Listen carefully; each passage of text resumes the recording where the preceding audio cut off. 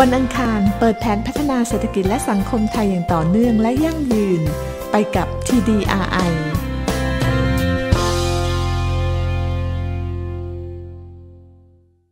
กลับเข้ามาในช่วงที่ 2 ของรายการนะคะ ทุกวันอังคารคุณผู้ฟังจะได้พบกับนักวิชาการจาก TDRI ค่ะ ซึ่งจะมาเล่าให้ฟังถึงเรื่องของงานศึกษางานวิจัย แล้วก็เรื่องในเชิงนโยบายที่มีข้อเสนอแนะที่น่าสนใจ เป็นเรื่องใกล้ตัวด้วย วันนี้ได้รับเกียรติจากคุณนิชมนทองพัฒนักวิจัยนโยบาย ด้านการขนส่งและโลจิสติกของ TDRI นะคะล่าสุดนี่คุณนิชมนเพิ่งจะได้ไปนำเสนองานที่ศึกษาเรื่องของ เมืองสำหรับคนในสังคมของผู้สูงวัย ในการประชุมประจำปีของสถาบันวิจัยเพื่อการพัฒนาประเทศไทย หรือว่า TDRI ปีนี้ค่ะ 2019 ที่ผ่านมา เราจะคุยลงลึกกันนะคะ เพราะว่าต้องยอมรับว่าบ้านเรากำลังจะเข้าสู่สังคมสูงวัยเต็มตัวในอีกไม่นาน แต่ว่าหลายชาติก็ล่วงหน้าไปก่อนแล้ว อย่างเช่นญี่ปุ่นเป็นต้นเนี่ยนะคะสำหรับของไทยเราเองถือว่าเป็นช่วงเปลี่ยนผ่าน มีหลายประเด็นทั้งเป็นข้อ น่ากังวล น่าห่วงใยแล้วก็ควรจะต้องใช้เป็นโอกาสในการที่จะเตรียมรับมือให้พร้อมด้วย ซึ่งแน่นอนค่ะ เมืองที่จะอยู่อาศัยได้อย่างมีความสุข แล้วก็สะดวกสบายตามสมควรเนี่ยยังมีโจทย์อีกเยอะเลย เดี๋ยวคุณนิชมนคงจะได้เล่าให้ฟังกันนะคะ สวัสดีค่ะค่ะสวัสดีค่ะคุณโสภิตค่ะ แล้วก็สวัสดีคุณผู้ฟังด้วยค่ะ ค่ะ ในการไปนำเสนองานศึกษาเรื่องของเมือง ที่เหมาะสมในสังคมของผู้สูงวัย หรือว่าสังคมที่ผู้คนมีอายุยืนมากขึ้นเนี่ยค่ะ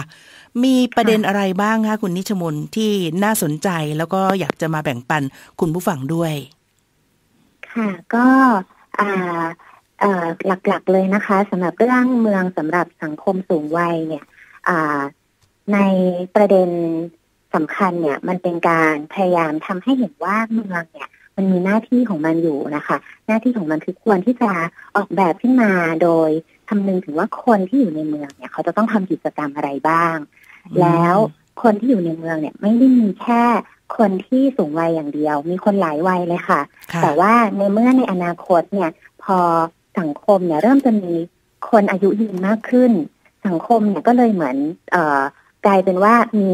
มีมีไม่ใช่มีแค่เด็กอย่างเดียว เริ่มจะต้องมี ผู้สูงวัยซึ่งแต่เดิมเนี่ยก็เคยทำกิจกรรม แต่พอสูงวัยแล้วก็ยังอยากทำกิจกรรมอยู่ ทีนี้เนี่ยเมืองเนี่ยก็เลยจะต้องตั้งคำถามกับตัวเองว่า เอ๊ะเราจะออกเมืองจะออกแบบยังไงดี ที่จะทำให้คนที่ยังไม่สูงวัย และคนที่สูงวัยเนี่ย สามารถทำกิจกรรมต่างๆ ที่ต้องการได้นะคะและถ้ามาพูดถึงเรื่องกิจกรรมนะคะคุณโสภิตเราก็จะมานึกถึงว่าปกติแล้วเนี่ย เราก็จะต้องคือถ้าแยกประเภทกิจกรรมที่ที่เราจะต้องทำ อยู่ในชีวิตประจำวันเนี่ย มันก็มีหลักๆ เลยก็คือ เราเหมือนกิจกรรมจำเป็นอย่างเช่น เราต้องไปทำงานเด็กๆต้องไปเรียนใช่ไหมคะแต่ทีนี้เนี่ยมันก็มีกิจกรรมอีกบางประเภทเราไม่ได้มีชีวิตอยู่แค่ทำงานหรือเรียนแล้วก็กลับบ้านเราอยากจะมีการไปพบปะสังสรรค์เจอเพื่อนใหม่ๆ มีกิจกรรมทางสังคมใช่ไหมคะ ในอีกทางหนึ่งเนี่ยเราก็อยากจะมีกิจกรรมที่เรียกได้ว่า ถ้าได้ทำแล้วมันจะช่วยกระตุ้นให้เกิดความคิดสร้างสรรค์มากขึ้นนะคะ ซึ่ง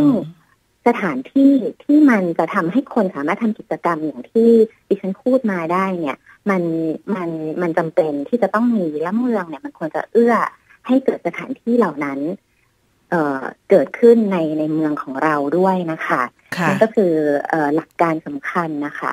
ของการออกแบบเมืองนะคะ ค่ะ ซึ่งที่ผ่านมาเราก็ต้องยอมรับกันว่าในบ้านเราแม้กระทั่งเมืองใหญ่นะในประเทศไทยเนี่ย ไม่ต้องพูดถึงเรื่องของผู้พิการหรือว่าผู้สูงอายุในการเดินทาง หรือว่าการออกไปใช้ชีวิตนอกบ้าน คนธรรมดาคนปกติหนุ่มสาวก็ยังยากเลยใช่ไหมคะใช่ทีนี้ในในประเทศไทยเราจากงานศึกษาที่คุณนิชมนดูนะมีปัญหามีอุปสรรคมีอะไรบ้างคะ ซึ่งเราควรจะต้องปรับปรุงแล้วก็แก้ไขเพื่อที่จะเอื้อให้กับทั้งผู้พิการผู้สูงอายุที่กำลังจะเป็นทั้งสังคมเนี่ยค่ะ ค่ะ ก็ หลักๆเลยนะคะ อย่างที่เมื่อตอนแรกได้บอกไปนะคะ ว่าเมืองเนี่ยมันควรนำให้คนทุกวัยเนี่ย สามารถจะใช้ชีวิตทำกิจกรรม เพื่อเอาศักยภาพที่ตัวเองมีเนี่ยออกมาใช้ได้อย่างเต็มที่นะคะ และกิจกรรมทั้งสามประเภทที่อธิบายไปเนี่ย มันก็จำเป็นจะต้องมีเอ่อสามประเด็นนะคะ หลักๆนะคะ ประเด็นแรกก็คือว่ามันควรที่จะต้องมีเอ่อสถานที่ เรียกว่าสถานที่สาธารณะนะคะ หรือว่าภาษาอังกฤษก็เรียกว่า public space นะคะ ที่มันเป็นสาธารณะจริงๆ เราเอื้อให้เกิดการทำกิจกรรมเหล่านั้นนะคะ อย่างเช่นการมีอาสนสาธารณะอย่างนี้นะคะ หรือแม้กระทั่งการมีพิพิธภัณฑ์ มีห้องสมุด มีสถานที่เหล่านั้นที่รองรับการสร้างกิจกรรมอื่น ๆ นอกจากแค่กิจกรรมจำเป็น อย่างแค่การไปทำงาน หรือว่าการไปเรียน เนี่ยค่ะซึ่งในกรณีของประเทศไทยนะคะเราเราได้โชว์ผลการศึกษาแค่อลองลองพลอตนะคะจุด location ของตัว park นะคะในกรุงเทพมหานคร คือจริงๆแล้วเมืองเนี่ยคำว่าเมืองเนี่ยมันมัน beyond เกินกรุงเทพนะคะแต่ว่าด้วยความที่การศึกษาเนี่ยเราเลือกเมืองใหญ่อย่างกรุงเทพมาดู เพราะว่าเจาะไปทางไหนก็คือปัญหาเยอะมากนะคะ มาเป็นตัวอย่างแล้วก็โชว์ในในการสัมมนาเมื่ออ ที่ผ่านมานะคะ ทีนี้ในตัวปาร์คของกรุงเทพเนี่ย เราก็จะพบว่าปาร์คเนี่ยมันมีอยู่ก็จริงจริงเริ่มจะกระจายนะคะ อยู่ในกรุงเทพแต่ว่าปาร์คที่มีเนี่ยถ้าถามว่าคนเนี่ยอยากจะเข้าไปเพื่อออกกำลังกายหรือว่าเข้าไปเพื่อจะไปเดินเล่นนั่งเล่นสูดอากาศบริสุทธิ์นะพื้นที่สีเขียวในกรุงเทพเนี่ยมีแต่การเข้าถึงในระยะที่เราลองกำหนดนะคะ ถ้าเป็นระยะ การเข้าถึงไปที่ปาร์คเนี่ยในช่วงโลครึ่งอะค่ะหนึ่งกิโลเมตรครึ่งที่ที่คนจะเดินได้จริงๆ บางคนก็เดินไม่ไหวนะแต่ส่วนใหญ่โลครึ่งสมมติจะให้เดินไปเนี่ย มันมันมีแค่สิบเก้าไม่ถึงยี่สิบเปอร์เซ็นต์นะคะ ของพื้นที่ในกรุงเทพที่จะทำให้คนเดินเข้าถึงได้นะคะ มันเหมือนสิ่งเอ่อไอตัวเลขเนี่ยมันบอกอะไรมันบอกว่ามันทำให้เมื่อคนเดินทางเข้าถึงยากป้าส่วนใหญ่อะถ้าคนลองไปสังเกตนะคะ ถ้าเกิดว่าไม่ใช่คนที่อยู่ละแวกบ้านจริงๆเนี่ย มันจะห้อมล้อมไปด้วยถนนค่ะ แล้วเวลาที่คนเนี่ยอยากจะเดินเพื่อไปออกกำลังกายหรือขี่จักรยานไปเนี่ย มันก็ไปลำบากค่ะ สุดท้ายก็ต้องใช้รถค่ะปาร์คบางปาร์คสวยมากเลยนะคะ แต่ว่าอยู่ใต้ทางด่วนอย่างเงี้ยค่ะ มันก็จะเข้าถึงยากแล้วก็ยังไงก็ต้องใช้รถเข้าไปทีนี้ทางกับการถ้าเกิดว่าอันนี้แค่คนทั่วไปนะคะ แต่ถ้าเป็นคนสูงวัยจะเข้าไปใช้ปาร์กนะคะ มันก็ คือเขาจะไปเองเนี่ยลำบากมากเลยต้องมีลูกหลานพาไป หรือว่าต้องขับรถได้ แล้วก็ขับรถไป นั่นก็เลยสะท้อนอย่างหนึ่งค่ะว่าเราก็เลยทำผลสำรวจคู่ขนานไปด้วยค่ะว่า คนสูงวัยเนี่ย ตั้งแต่หกสิบขึ้นไปเนี่ยนิยมไปทำกิจกรรมที่ไหนบ้าง สถานที่ที่อยากทำกิจกรรมปรากฏว่าส่วนใหญ่เนี่ยเกิน 40เปอร์เซ็นต์เนี่ยไปห้างสรรพสินค้า ส่วนส่วนสาธารณะแค่8เปอร์เซ็นต์อันนี้เข้าใจค่ะว่า เออเออสวนเนี่ยมันร้อนนะคะ แล้วก็ห้างมันเย็นกว่า แต่ว่าแม้กระทั่งว่าเออมันไปทั้งสองอย่างได้ถูกไหมคะ แล้วก็ถ้าอยากจะออกกำลังกายเนี่ยมันมันไปได้มากกว่าแปดเปอร์เซ็นต์ที่ซ้ำไปนะคะคือการเข้าถึงเนี่ยอาจจะแสดงเป็นเป็นเป็นประเด็นสำคัญอย่างหนึ่งที่ทำให้คนเนี่ยไม่อยากจะเดินทางเข้าไปเพื่อทำกิจกรรมที่สวนสาธารณะนะคะ ในพื้นที่อย่างในกรุงเทพนะคะ ค่ะดินว่า จริง ๆ แล้วคนจำนวนไม่น้อยก็อยากไปสวนสาธารณะเปรียบเทียบกัน แต่ว่ามันติดเงื่อนไขอุปสรรคก็คือเข้าถึงไม่ได้อย่างที่คุณนิชมนว่า เพราะคิดเทียบกันในห้างหนึ่งเย็นกว่าสองมีลิฟต์มีบันไดเลื่อน มีที่จอดรถที่เข้าไปได้เลย แต่ว่าสวนสาธารณะ ถ้าต้องเดินเอาเอาว่าเดินระยะทางนั้นหนึ่งแต่สองการเดินในทางที่ลาดชันบันไดหรือทางลาด ก็เป็นคำถาม ถูกต้องค่ะ คะคือนอกจากมีพื้นที่สาธารณะแล้ว เอ่อมันมันไม่ได้มีอย่างเดียวค่ะ มันมีแล้วมันต้องมีมีการพาคนเข้าไปถึงให้สะดวกด้วยแล้วมีของให้คนสามารถเข้าไปใช้ด้วยได้คืออาจจะมีสวนสาธารณะแต่คำถามต่อไปคือในสวนสาธารณะเนี่ย มีอุปกรณ์มีสิ่งของที่มันเอื้อให้คนหลาย ๆ วัยอยากใช้ได้หรือเปล่า ถ้าเราพูดกันถึงสังคมสูงวัย ผู้สูงวัยเขาใช้งานสวนสาธารณะได้หรือเปล่า อย่างเช่นว่ามีมาให้มีมานั่ง ให้เขานั่งได้อย่างเพียงพอไหมข้อเข่าเขาด้วยหรือเปล่าใช่ไหมมีอุปกรณ์ออกกำลังกายที่เขาใช้ได้อยู่ด้วยหรือเปล่า ของเหล่านี้ถ้าถ้ามันไม่มีบางครั้งมันก็จะมีแต่ที่อะค่ะ แต่มันไม่มีคนเข้าไปใช้นะคะ มันต้องมีทั้งสถานที่มีของให้คนอยากใช้ แล้วก็ต้องมี คือต้องดีไซน์ต่อไปถึงว่าแล้วถ้าคนเขาจะมาใช้เนี่ยจะให้เขามาใช้ด้วยวิธีการอะไร แล้วจะนำพาเขามาได้ยังไงนะคะคือถ้าเกิดว่าเอ่อทุกวันนี้เราเราเป็นสังคมที่ออกแบบแบบถ้าในทางเอ่อภผังเมืองเขาบอกว่ามันจะเป็นการออกแบบแบบแนวโมเดิร์นซึมมาค่ะ ก็คือออกแบบโดยลืมคิดไปว่าคนจะอยู่ในเมืองยังไงนะคะ คือมีสถานที่ตั้งเอาไว้ แล้วก็โอเค ถ้าคนจะไปจะ ก็ค่อยตีถนนตัดถนนเอา แล้วก็คนก็ใช้รถไปแล้วกันก็กลายเป็นว่ามันทำให้คนต้องไปพึ่งพารถมากกว่าที่จะที่จะใช้การเดินหรือว่าการเดินทางแบบอื่นที่ไม่ต้องใช้รถนะคะทีนี้พอยิ่งมีถนนมันก็ยิ่งมีรถมากขึ้น เราก็ต้องไปพึ่งพารถมากขึ้น แล้วถ้าเราจัดสรรขนส่งสาธารณะได้ ไม่ครอบคลุมพอคนก็ยิ่งต้องไปใช้รถส่วนบุคคลมากขึ้น มลพิษก็มากขึ้นกลายเป็นว่ามันก็จะเป็นลูปแบบนี้ไปเรื่อยๆนะคะคือเพราะฉะนั้นนั่นก็คือประเด็นสำคัญนอกจากว่ามีของแล้วต้องออกแบบการเข้าถึงด้วยใช่ค่ะ แล้วถ้ามาดูในกรุงเทพคุณโสภิตก็จะเห็นว่า สมมติว่าถ้าเกิดว่าเราอยากจะเดินไปในที่ใกล้ๆ เราก็มาดูทางเท้าอย่างเงี้ยค่ะ ทางเท้าในกรุงเทพเชื่อว่าคุณผู้ฟังหลายคนคงมีประสบการณ์ร่วมใช่ค่ะเคยไปเดินที่สุขุมวิทค่ะเคยไปเดินที่สุขุมวิทสั้นๆเนี่ยค่ะ ซึ่งในในซอยนั้นถนนร่มรื่นด้วยต้นไม้นะคะ แต่ปรากฏว่าทางเท้าเดินยากมาก มันต้องขึ้นฟุตบาทขึ้นทางเท้าลงถนนแล้วก็ต้องขึ้นมาใหม่ในช่วงที่เขาตัดสำหรับให้รถเลี้ยวเข้าซอยเล็ก ๆ ระหว่างทางนะคะ แล้วก็ไปเดินริมถนนอยู่เยอะมากเหมือนกัน ค่ะ ทางเท้าเนี่ยมันก็ทำให้เห็นว่ามันมันมันเดินได้ไม่สมูทต่อไปนะต่อเนื่องนะคะแถมมีอย่างที่คุณนุ่นพูดเหมือนมีอุปสรรคในการที่คนจะเดิน เดินแล้วต้องก้าวขึ้นก้าวลงเดินแล้วทางไม่เรียบใช่ไหมคะเดินเดินอยู่ทางหายอย่างเงี้ยค่ะติดต้นไม้ติดเสาไฟฟ้าค่ะ บางที่เอ่อดีไซน์เอาไว้กว้างมากเลยนะคะ แต่ว่ามีมีมอเตอร์ไซค์ขึ้นไปอย่างเงี้ยค่ะ ก็ คนจะเดินก็กลายเป็นว่าแทนที่จะอยู่บนทางเท้าที่ปลอดภัยก็กลายเป็นว่า เดี๋ยวโดนต้องหลบมอเตอร์ไซค์หรืออาจจะโดนมอเตอร์ไซค์ชนอย่างเงี้ยค่ะ ก็เป็นปัญหาทางเท้าของกรุงเทพที่เราเพบเห็นกันนะนะคะ คือทางในในการสัมมนาเราก็เราได้ยกผลการศึกษาของทาง UDDC นะคะเขาได้เขาได้พยายามออกไปสำรวจทางเท้าเมื่อกรุงเทพมหานครเลยค่ะ แล้วก็มีเกณฑ์การให้คะแนน ทางเท้าเอ่อมันเรียกว่า walkability score ค่ะ เหมือนถ้าถ้าเจ้าจะแปลก็เข้าใจว่าเป็นการอ่าอ่าเป็นการดูทางเท้าคุณภาพของทางเท้าอะค่ะ ซึ่งคะแนนเต็มเนี่ยมันสี่สิบคะแนน และทางเท้าในกรุงเทพเนี่ยไม่กล้าถ่ายตัวเลขยังไม่ถึงครึ่งเลยค่ะสิบแปดคะแนนค่ะนี่เป็นสิบเจ็ดเปอร์เซ็นของทางเท้าในกรุงเทพเนี่ย ได้คะแนนอยู่ที่สิบแปดเต็มสี่สิบค่ะ ซึ่งพอเราลองอัด ไปดูภาพให้เห็นจริงว่ามันหน้าตาเป็นยังไง เราก็รู้สึกว่าอ้าวมันก็เหมือนทางเท้าที่เราเคยเห็นนี่มันก็เลยเกิดความน่าประหลาดใจอย่างหนึ่งค่ะว่าอ๋อทางเท้าที่เราเคยเห็นในทุกๆวันเนี่ยเราอะชินค่ะแต่จริงๆแล้วมันยังไม่ได้คุณภาพเท่าไหร่นะคะ คือมันอาจจะมีอาจจะพอเดินได้ แต่มันก็มีอุปสรรคในการเดิน มันอาจจะมีความเขียว แต่มันก็ไม่เขียวมากพอ มันเหมือนจะมีความปลอดภัย แต่มันก็ไม่ได้ปลอดภัยตลอดเวลาเช่นว่า อาจจะมีวันดีคืนดีอาจจะมีมอเตอร์ไซค์ที่ไปวิ่ง หรือวันดีคืนดีแบบถ้ามันมืดมืดเนี่ยมันก็ไม่น่าเดิน มันไม่ได้รู้สึกเหมือนถ้าเคยไปต่างประเทศที่ที่เขามีการออกแบบทางเท้าดีๆ เราจะรู้สึกว่ามันปลอดภัยมันน่าเดินเนี่ยเดินไปได้ทุกย่านเลยนะคะนั่นก็เป็นเอ่อเป็นเป็นสิ่งที่เชื่อว่าคนกรุงเทพหลายๆคนเนี่ยก็คือจะเห็นภาพหรือเขาพูดปัญหาเรื่องทางเดินเท้า หลังนี้ออกมานะคะ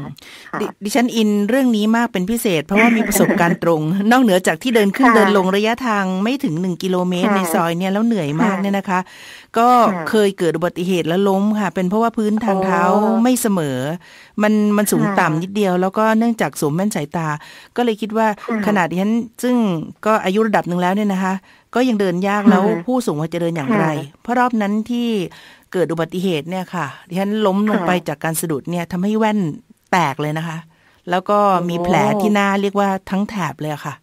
แค่แค่สะดุดนิดเดียว แล้วก็เป็นจังหวะ เนื่องจากว่านอกจากพื้นไม่เสมอ แล้วก็เดชบุญว่าไอ้ตรงท่อระบายน้ำอะค่ะเขายกเขายกขึ้นมาแบบยกสูงเลยค่ะ ดีที่หน้าไม่ไปฟาด อืม อันนั้นก็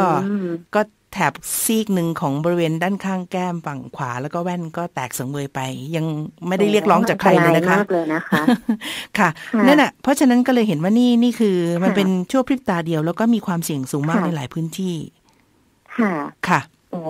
เนี่ยค่ะมันก็สะท้อนว่าเมืองที่เราอยู่กันมาเนี่ย การออกแบบเนี่ย ยังไม่ได้นึกถึงว่าคนที่อยู่ในเมืองเนี่ย จะอยู่ยังไงให้อย่างสะดวกราบรื่นและทำกิจกรรมได้อย่างสะดวกราบรื่นค่ะ เพราะว่าเรื่องเรื่องพวกนี้คือเรื่องเรื่องที่เราต้องทำมาค่ะในชีวิตประจำวันของเรา อันนี้เรื่องของทางถ้าเราอยากจะเดินเท้า ทีนี้ถ้าเกิดว่าเราเนี่ยบ่นการกรุงเทพเนี่ยรถติดเหลือเกิน อย่างที่บอกว่าก็เพราะว่ามันมีมันออกแบบแบบนี้คนต้องก็ใช้ต้องรถตัดเยอะถขึ้นนนต้องพึ่งพารถอืมตัดถนนเพิ่มรถก็เพิ่มกลายเป็นว่า มันมันไม่ได้แก้ปัญหาการตัดถนนเพิ่มแต่ค่ะประเด็นคือถ้า ทุกคนก็บอกว่าอะแล้วถ้าก็ขนส่งสาธารณะของบ้านเรามันไม่พอเพียง ไม่เพียงพอไม่มีคุณภาพ อันนี้ก็เป็นโจทย์สำคัญที่ที่ที่ที่มันต้องให้การสนับสนุนเรื่องของระบบขนส่งสาธารณะด้วยนะคะค่ะถ้ามาพูดถึงขนส่งสาธารณะที่จะรองรับในสังคมที่คนเริ่มอายุยืน แล้วก็มีผู้สูงวัยอยู่เนี่ยเอ่อมันควรจะต้องเป็นบริการที่คนสูงวัยก็ใช้งานได้ด้วย อย่างยกตัวอย่างนะคะ อย่างเช่น อย่างรถเมย์เองอย่างเงี้ยค่ะ รถเมย์เนี่ยในในบ้านเราเนี่ย มันควรคือด้วยความที่คนสูงวัยบางครั้งการจะก้าวเนี่ยมันลำบากใช่ไหมก้าวข้อขึ้นเขาสูงไม่ได้แข็งแรงค่ะใช่ค่ะ แล้วรถเมล์ที่มีอยู่ในปัจจุบันเนี่ย ประมาณเอ่อเจ็ดสิบกว่าเปอร์เซ็นต์เนี่ยมันยังเป็นรถแบบเก่า รถแบบเก่าก็คือไม่ใช่รถเมล์ชันต่ำค่ะที่ที่มันจะออกแบบให้ใกล้เคียงกับขอบฟุตบาท และสามารถที่จะพาด พาดเอ่อแผ่นที่เวลาถ้าเกิดสมมติคนอยากจะก้าวขึ้นเนี่ยก็ไม่ต้องก้าวเอ่อสูงมาก หรือว่าถ้าเป็นรถเข็นวิวแชร์เนี่ยก็สามารถจะเข็นด้วยแผ่นพาดนะคะขึ้นไปได้เลยอืมนะคะ อันนั้นก็คือเป็นเป็นปัญหาอย่างหนึ่งของรถเมย์บ้านเราแต่แต่เชื่อว่าในอนาคตค่ะ ก็จะมีการพยายามเพิ่มเอารถเมย์ชั้นต่ำเข้ามาเอ่อให้บริการให้มากขึ้นแล้วก็เอ่อให้ให้ให้ครอบคลุมนะคะค่ะ แต่รถเมย์ชั้นต่ำมันไม่ได้มีแต่รถเมย์อย่างเดียวค่ะ เพราะว่ารถเมย์มันไม่ได้จอดได้กับทุกฟุตบาทค่ะ หรือว่าทุกๆเอ่อจุดจอด มันจะต้องมีจุดจอดที่มันรองรับกับการที่พอรถเมย์ชั้นต่ำมา แล้วพาดแลมได้ด้วยอืมบางครั้งเออขอบฟุตบาทเนี่ยอย่างถ้าเอ่อในในวันสัมมนาเนี่ยทางทางทีดีไอก็ได้แสดงให้เห็นภาพเอ่อแถวอนุสาวรีย์ชัยซึ่งขอบฟุตบาทมันเป็นขอบโค้งอะค่ะทีค่ะนี้พอเวลาจะมาเทียบจอดเนี่ยก็ลำบากนะคะ มันควรที่จะต้องเป็นขอบที่อ่าเรียบและรองรับกับการที่จะให้แหลมพาด แล้วก็สามารถเห็นอ่าไอ้เจ้าตัววีลแชร์ไปได้นะคะเพราะฉะนั้นการดีไซน์โครงสร้างพื้นฐานให้รองรับกับเอ่อรถที่มันชันต่ำที่จะเอื้อให้คนสูงวัยและคนพิการใช้เนี่ย มันก็สำคัญด้วยเหมือนกันค่ะค่ะถึงแม้ว่าอีกอันหนึ่งที่เราเคยมันเคยเป็นข่าวค่ะ เรื่องของการ มีลิฟต์นะคะในสถานีรถไฟฟ้านะคะ ซึ่งบัดนี้ก็ยังไม่เรียบร้อย ใช่ค่ะ คือลิฟต์เนี่ยเอ่อใน 77 สถานีทุกทางเข้าออกเนี่ย มันก็มีลิฟต์อยู่นะคะ แต่ว่ามันอาจจะยังไม่ได้ครอบคลุมมากเท่าไหร่นักนะคะ มีประมาณ 41เปอร์เซ็นต์นะคะที่ที่มีลิฟต์แต่อีก 59เปอร์เซ็นต์เนี่ยยังไม่มีลิฟต์แล้วก็ทางลาด แต่เข้าใจว่าเอ่อหน่วยงานที่เกี่ยวข้องก็พยายามที่จะ เพิ่มจำนวนลิฟต์และทางลาดให้ได้ครอบคลุมทุกสถานีนะคะค่ะแต่ประเด็นสำคัญอีกอย่างค่ะเจ้าลิฟต์และทางลาดเนี่ยมีแล้วมันต้องใช้งานได้ด้วยนะคะ มันมีกรณีที่บอกว่าเป็นข่าวคืออย่างตัวลิฟต์เนี่ย มันเหมือนถูกล็อกเอาไว้อะค่ะมีแล้วมีแล้วเข้าถึงยาก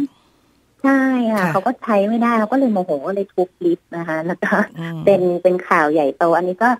เอ่ออันนี้ก็สะท้อนให้เห็นว่ามันมีแล้วมันต้องใช้ได้จริงๆทางลาดเนี่ยมันก็ต้องลาดไปสู่ ฟุตบาทที่เดินต่อไปได้ไม่ใช่ว่าลาดไปทางแคบทางไหนแล้วอ๋อแล้วเราเดินมาทางนี้ทำไมกันนะอะไรอย่างเงี้ยค่ะ ค่ะอันนั้นก็เป็นข้อค้นพบที่จริงๆแล้วคิดว่าทุกคนเนี่ยก็เคยค้นพบมันเหมือนมา ให้ให้เห็นปัญจัดหมหาวดหมู่ร่วมกันว่าเออเนี่ยพวกเราหัวอกเดียวกันนะอยู่ในเมืองนี้อะไรอย่างเงี้ยค่ะเป็นหัวอกเดียวกันที่ค่ะไม่ค่อยได้อยากจะได้นะคะ นอกเหนือจากค่ะเรื่องของการเอื้ออำนวยทางด้านกายภาพที่ผู้ค่ะสูงอายุหรือว่า ในส่วนของผู้พิการเนี่ยมีข้อจำกัดค่ะเนี่ยนะคะอีกด้านหนึ่งค่ะในเชิงของเนื้อหาและข้อมูลก็เป็นปัญหาเหมือนกันค่ะสำหรับบริการขนส่งสาธารณะ วันนี้ดิฉันเจอค่ะเองเลยค่ะ คุณนิชมนปรากฏค่ะว่าไปรอรถเมล์เส้นทางที่จะมุ่งเข้าอนุสาวรีย์ตรงบริเวณใกล้ๆกับโรงพยาบาลพระมงกุฎอะค่ะ ก็ไม่คุ้นเคยกับค่ะป้ายนั้นเลยไม่รู้ว่าหมายเลขอะไร ไปไหนบ้างจะรู้แต่หมายเลขที่ตัวเองจะไป มีคนต่างชาติค่ะมาถึงแล้วก็มาถาม เขาถามหาเบอร์ 509 เพื่อจะไปเอ่อจตุจักร แต่ว่าค่ะดิฉันเหลียวกลับไปดูที่ป้าย ป้ายมันไม่มีค่ะตัวเลข509อะ เราก็เลยบอกว่ามันค่ะไม่น่าจะผ่าน แล้วก็อีกสักพักหนึ่งค่ะก็มีรถ509มา มันก็เลยทำให้เห็นว่า เราขาดข้อมูล มีแต่เลขค่ะป้าย มีแต่เลขเบอร์รถ แต่ไม่มีข้อมูลว่าปลายทางไปไหนอย่างไร อันนี้ก็อาจจะเป็นหนึ่งในข้อจำกัด ไม่เพียงแต่ผู้สูงวัยแต่หมายถึงคนทั่วไปใช้คนทุกวัยเลยค่ะ ใช่ค่ะใช่ค่ะเห็นด้วยค่ะ ก็เรื่องของเออข้อมูลในการเดินทางเนี่ยเป็นสิ่งสำคัญเหมือนกันนะคะ ที่จะต้องจัดให้มีถ้าเกิดว่าคนทุกวัยอยากจะเดินทาง เรียกได้ว่าไม่ต้องพึ่งพาคนอื่นนะคะ ถ้าอยากจะเดินทางเอง เห็นภาพเห็นอะไรแล้วเข้าใจแล้วก็เดินทางไปต่อได้ เพราะฉะนั้นเองพวก information ที่ต้องให้กับผู้เดินทางเนี่ย มันต้องทำให้เป็นระบบ นะคะ แล้วก็มีการออกแบบก็ใช้หลักการเดียวกันค่ะ ก็คือว่าคำนึงถึงว่าถ้าคนจะใช้งานเนี่ย คือเขาจะใช้งานได้ยังไงให้มันง่ายที่สุดเนี่ยนะคะอืมซึ่งเข้าใจว่าเป็นอีกโจทย์หนึ่งเหมือนกันค่ะ ที่ที่ภาครัฐก็เอ่อและและองค์กรปกครองส่วนท้องถิ่นเนี่ยก็เอ่อต้องเออพยายามเร่งทำงานด้านนี้นะคะค่ะก็คิดว่าก็ น่าจะในอนาคตเราก็น่าจะได้เห็นอะไรดีๆ เพิ่มขึ้นนะนะคะ ค่ะค่ะ เรามีความหวังบวกร่วมกันนะคะค่ะในต่างในต่างประเทศมีค่ะตัวอย่างเมืองไหนที่ค่ะได้พัฒนาแล้วก็ปรับปรุงทุกอย่างที่ค่ะคุณนิชมนเล่ามาบ้างไหมคะค่ะทั้งเมืองมีพื้นที่อย่างสาธารณะเข้าถึงค่ะได้ง่าย แล้วก็มีบริการที่เอื้อเฟื้อกับคนทุกวัยค่ะ ค่ะมันก็จะมี อย่างถ้าเป็นตัวอย่างของพื้นที่สาธารณะที่ผ่านมาเนี่ยเราพูดกันว่าเมืองที่ไม่ได้ออกแบบโดยนึกถึงคนเนี่ย ก็จะมักจะออกแบบให้ให้รถเป็นหลักกันนะคะ แล้วก็ไม่ได้ให้ความสำคัญกับคนเดินเท้า หรือคนที่ต้องใช้ชีวิตด้วยการเดินไปทำกิจกรรมในที่ต่างๆนะคะเอ่อมันจะมีเมืองอย่างถ้าอย่างทางฝรั่งเศสนะคะเอ่อในปารีสนะคะ เมืองปารีสเนี่ยเอ่อก่อนหน้านี้เจ็ดสิบเปอร์เซ็นของ พื้นที่ใกล้ๆแม่น้ำเรนเนี่ยนะคะ มันก็จะเป็นพื้นที่สำหรับรถเป็นส่วนใหญ่ค่ะ แต่ว่าพอเขาเห็นว่าส่วนใหญ่มันเป็นแบบนั้นการใช้ชีวิตของผู้คนเนี่ย มันมันไม่ได้ถูกให้ความสำคัญนะคะ เพราะฉะนั้นเนี่ยเมืองก็เลยออกแบบใหม่ค่ะเหมือนคืนพื้นที่สาธารณะที่รถเอาไปใช้ให้เป็นคนมากขึ้นนะคะอืมเลยทำเอ่อให้รถเนี่ยวิ่งอยู่แค่ทางทางถนนข้างบนเท่านั้นแต่ทางเรียบของเรียบแม่น้ำเนี่ยค่ะ ให้ปรับให้เป็นพื้นที่สาธารณะ แล้วห้ามรถเข้านะคะ ให้เป็นที่ของคนเดินทางอย่างค่ะเดียวนะคะคนก็จะเดินเอ่อเป็นที่ของคนเดินเท้าอย่างเดียวนะคะ มันก็เหมือนเป็นการเอ่อลองคืนพื้นที่สาธารณะให้คนเมืองก็มีชีวิตชีวามากขึ้น เพราะว่าคนเดินเข้าถึงมากขึ้นไปพบปะสังสรรค์จับจ่ายใช้สอยนะคะ อันนั้นก็เป็นตัวอย่างของเมืองปารีสนะคะอ่าถ้าเกิดว่าใกล้บ้านเราเข้ามาอย่างในกรุงโซลเกาหลีใต้เนี่ยนะคะ อันนี้กระทำการที่เอ่อเรียกว่าแข่งเอ่อแข่งขันแบบน่าท้าทายมากกว่าปารีสสิค่ะ ก็คือเขามีทางด่วนค่ะเมื่อก่อนในช่วงก่อนปี 2000นะนะคะ ในกรุงโซเนี่ยก็คือเมืองก็อ่าเออร์เบนไนส์แล้วก็มีถนนมีทางด่วนไฮเวย์หลายเลนมากเลยนะคะ ปรากฏว่าเอ่อมันก็สภาพแวดล้อมแถวนั้นก็เริ่มเสื่อมโทรมมานะคะ ไอ้เจ้าทางด่วนนั้นเนี่ยจริงมันวิ่งเอ่อครอบ คลองที่อยู่ข้างล่างอะคลองมันชื่อว่าคลองชองเกชอนนะนะคะเขาก็เลยเอ่อตัวเมเยอร์ของทางกรุงโซลเนี่ยค่ะ ก็คิดว่าเออเนี่ยมันควรจะต้องดีไซน์การออกแบบเอ่อออกแบบเมืองใหม่แล้วเลยนะคะเขาก็เลยรื้อเลยค่ะรื้อทางด่วนรื้อทางของรถออกไปเลยค่ะ การรื้อทางด่วนรื้อทางของรถออกนี่ไม่ใช่เรื่องง่ายๆเลยนะเขาต้องเจอกับความท้าทายรอบด้านเลยทีเดียวนะคะค่ะรื้อทางด่วนออกแล้วก็เอ่อปรับปรุงสภาพน้ำในคลองชองเกชองแล้ว ก็ปรับปรุงพื้นที่รอบคลอง ให้เป็นพื้นที่สาธารณะ ให้คนเนี่ยเดินทางมาพักผ่อนหย่อนใจมาจัดกิจกรรมมาเดินดูธรรมชาตินะคะก็กลายเป็นว่าสถานที่แห่งนั้นเนี่ยมีสภาพแวดล้อมที่ดีขึ้นนะคะ คุณภาพน้ำดีขึ้น คุณภาพอากาศดีขึ้น แล้วอุณหภูมิของเมืองเนี่ย บริเวณนั้นก็ลดลงด้วย เพราะว่าพอเอารถเอาเอาคอนกรีตออกให้มันเป็นพื้นที่สีเขียวเป็นพื้นที่ของน้ำนะคะ มลมลภาวะ มันก็ลดลงอุณหภูมิมันก็ลดลงด้วยนะคะอืมและกลายเป็นว่าปัจจุบันที่แห่งนั้นเนี่ยค่ะ คือบริเวณคลองชองเกซอนก็กลายเป็นสถานที่ท่องเที่ยวค่ะ แล้วก็มีนักท่องเที่ยวมาหกหมื่นกว่าคนต่อวันนะคะ ก็กลายเป็นว่านอกจากคืนคุณภาพชีวิตให้คนในเมืองแล้วเนี่ย ในกรุงโซลของการมีคลองเอ่อมีการปรับปรุงพื้นที่สาธารณะรอบคลองชองเกซอนเนี่ยก็ทำให้เมืองมีรายได้เพิ่มมากขึ้นด้วย โดยเฉพาะจากการท่องเที่ยวนั่นก็เป็นค่ะ ตัวอย่างของเมืองที่ให้ความสำคัญนะคะอืมทีนี้ถ้าพอมีผู้สูงวัยเนี่ย เมืองก็เอ่อมันจะมีตัวอย่างเมืองที่เข้าสู่สังคมเอ่อสังคมสูงวัยกันแล้วนะคะ อย่างในจีนเองนะคะ ไม่ว่าจะเป็นในปักกิ่งหรือแม้กระทั่งในฮ่องกงเนี่ยเขาก็เริ่มที่จะไม่ใช่เริ่มเขาทำมานานแล้วค่ะก็คือให้พื้นที่สาธารณะหรือส่วนสาธารณะที่อยู่ใกล้ละแวกบ้านของผู้สูงวัยเนี่ยนะคะ จะต้องมีอุปกรณ์ที่อำนวยความสะดวก แล้วก็อุปกรณ์ที่ทำให้ผู้สูงวัยสามารถไปทำกิจกรรมได้ค่ะอย่างอย่างฮ่องกงเนี่ยน่าชื่นชมค่ะเพราะพื้นที่เขาจำกัดค่ะ แต่ว่าเขาก็จะต้องพยายามที่จะต้องมีพื้นที่สาธารณะให้คนมาทำกิจกรรมนะคะอืมโดยเฉพาะผู้สูงวัยนะคะมีการตั้งเป้าว่าจะต้องมีพื้นที่สาธารณะ หรือพื้นที่สีเขียวในเอ่อกี่ตารางเมตรต่อคนในในในอนาคตข้างหน้าอย่างเงี้ยนะคะ ก็ก็เป็นตัวอย่างที่น่าสนใจในเรื่องของค่ะ การพยายามเพิ่มพื้นที่สาธารณะให้ให้กับคนในเมืองนะคะค่ะ งั้นเราหวังร่วมกันสำหรับประเทศไทยที่น่าจะมีแบบนี้บ้างค่ะในอนาคตนะคะค่ะวันนี้ขอบคุณมากค่ะ ค่ะค่ะสวัสดีค่ะยินดีค่ะ